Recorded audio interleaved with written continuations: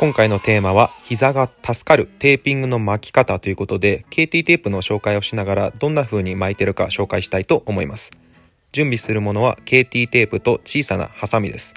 ハサミは刃先が丸いものがロングトレールに向くでしょう。小型のものがおすすめ。KT テープのすすめ。こんにちは。ハイカーの高倉です。いつも動画をご覧いただきましてありがとうございます。皆様いかがお過ごしでしょうか？健康第一で楽しく暮らせておられますでしょうか？私はこちらアメリカはロングトレイルパシフィッククレストトレイルですね。途上におります。今後半戦の2000キロを歩こうというところになっております。早速本題ですね。今日はこちらのテーピング紹介したいと思います。KT テープ。皆様ご存知でしょうか？KT テープに関するお問い合わせをよくいただくようになりましたのでリクエストにお答えしてという感じになります。早速使い方についていろいろとお話をしていきたいと思います。自分がどういう風に使っているのかなんですけれども膝ですね。膝のぐらつきを緩和するというかこれのいいところですごくサポート力が高いというところと粘着力が高くて継続的な運動があっても剥がれにくいっていうところが大きな特徴になってます。自分がどのように使っているか紹介したいと思います。登山ですとかハイキングですとかそういった活動をしていて膝のぐらつきがあるんだよな。なんかちょっとこう支えが欲しいんだよな。サポートが欲しいみたいな。でもかさばるこうがっちりしたサポーターみたいなのは嫌だしテーピングってすぐ剥がれちゃうんだよなみたいな感じで悩んでる方にはぜひこのね KT テープお試しいただきたいなと思います。自分がどんな風に使っているのか紹介していきたいと思います。準備するものはこちらの KT テープとちっちゃいハサミですね、まあ、これはよくこう鼻毛とか切ったりする時用にこう先端が丸くなっているタイプなんですけれどもこれロングトレールにあると便利です。小さいハサミ便利ですね。じゃあ準備していきましょう。自分は膝のためにですねまずこれ1 2 3 4 5 5個使います。で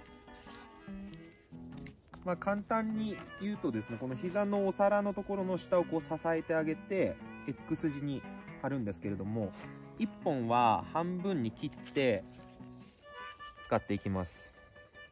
ここをですねまず半分に切りましてで半分に切るとここ角っこがカドカドってカクカクってなっちゃってこういうところが剥がれやすさの原因になってしまうのでここを丸くカスタムしてあげるというかこんな感じですね。はい。これで準備完了です。ゴミはちゃんと後で片付けたいと思います。はい。これで準備完了。なんで右足用左足用っていう感じですね。このセットで自分は固定感を高めていっております。テーピングに関するいろいろな疑問に答えながら貼っていきたいと思います。やっていきましょうそれでは丁寧にやっていきたいと思います。まずは右足からですねやっていきましょうか。テーピングですね。いろいろとあると思うんですけれどもまずこの KT テープの特徴というかこの粘着力が高いっていうところが大きな特徴になってます。自分はこの黒のエクストリームってやつを使ってるんですけれども、まあ、伸縮の高さもいいですし素晴らしいクオリティだなと感じています。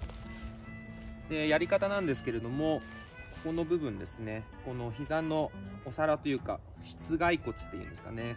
膝の骨があると思うんですけどもここをですね下からキュッと支えてあげるようにやっていきます。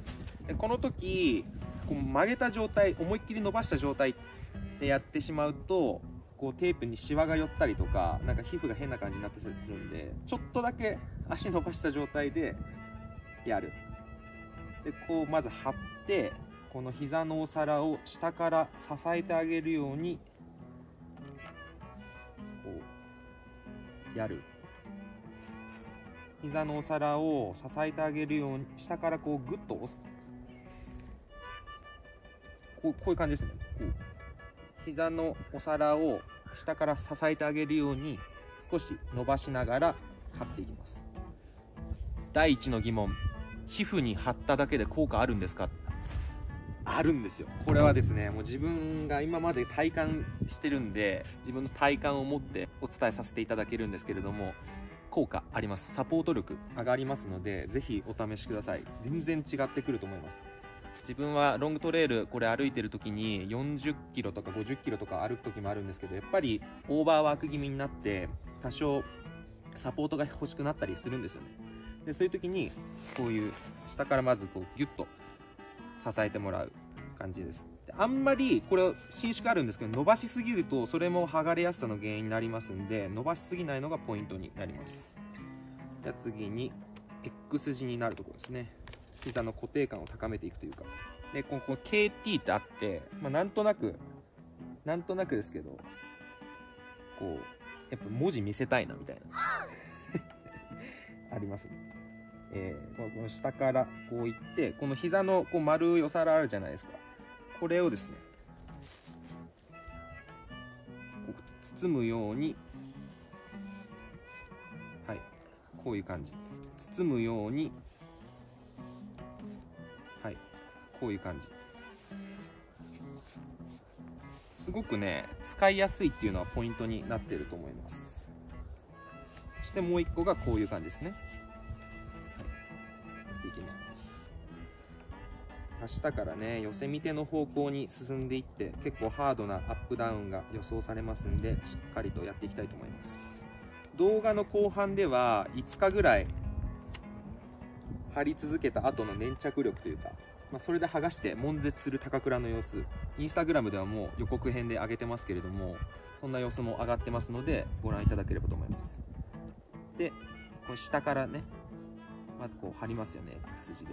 でこの膝の丸いところをサポートしてあげるように。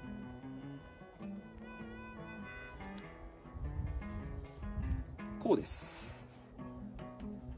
サポートしてあげるように。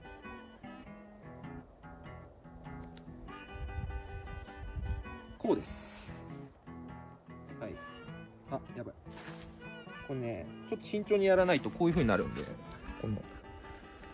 こういうところが剥がれやすさの原因になったりするんでしっかりとこう伸ばしてあげて修正します。よし。はい。非常に粘着力の高いテーピングになっています。こういう感じですね。あちょっと膝がシワシワになっちゃったかな。うん。でこれね本当に全く変わってきますのでサポート能力というか、うん、おすすめになっておりますじゃあおさらい的にこっちの左膝の方もやっていきましょうか。まずはこの短いやつで膝の骨を下から支えるように。足は伸ばしすぎない。し、曲げすぎないぐらいで。ちょっと伸ばして下から支えるようにグッと。これだけでもね違ってくるんですよサポート力が。不思議なことに。次に剥がれやすくないのっていうところなんですけれども剥がれにくいですね。この粘着力の高さっていうのが KT テープの大きな特徴になってます。運動を続けても数日間貼り続けても剥がれないということですね。じゃあ次 X 字でいきますよ。伸ばしながらね。ちょっとこの文字の位置も意識しながら。でこの膝の丸いところを包むように。でい。いちょっと下伸ばしすぎたかな？はい。そして最後にこっちですね。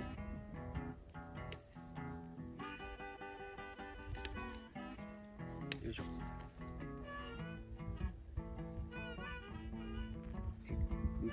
でこの膝の丸を包むように。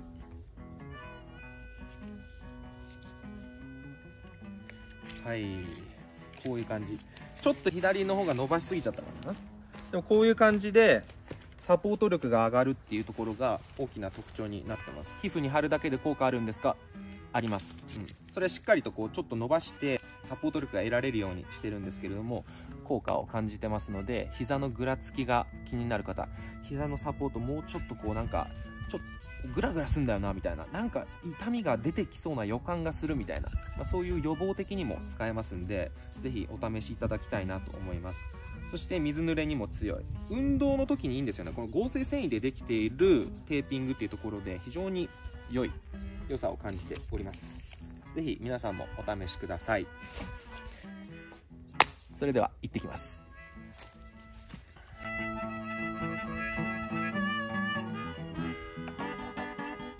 最後にテーピングあるあるですね。テーピングした後ゴミ結構出るっていうところでしっかりとゴミの管理しっかりとゴミもまとめて捨てていきましょう。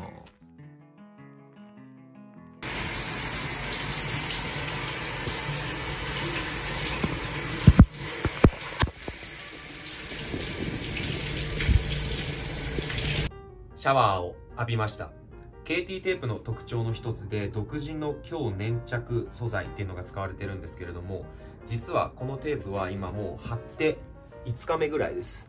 これで運動してシャワー浴びて汗かいてっていうのをやってるんですけれども剥がれない、うん、しっかりと粘着が続いていて今まで自分が心配していたテーピングの剥がれどうせ貼っても剥がれちゃうんじゃないの？水濡れ汗濡れに弱いんじゃないの？そんな心配がクリアされている。で今シャワー浴びてちょっと濡れてるんですけれどもしっかりね貼り直していきたいなと思ってまして、まあ、どれぐらいの粘着が残ってるか確認してみましょうか。いきますよ、まあ、罰ゲームに近いんですけど。いつかねすね毛も脱毛したいかなと思ってるんですよ。いきますよ。いきますよ。5日目でこれですよ。あ痛い。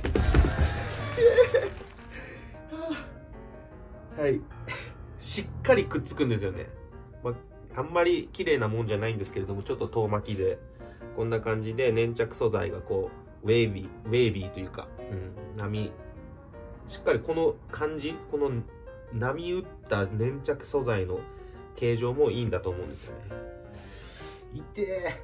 そう。これ痛い痛さを感じるぐらい粘着が残ってるっていうことなんですよ。こっちも剥がしていきますよ。もしかしたらね光脱毛とかしなくてもレーザーとかしなくてもテーピング脱毛できるのかもしれない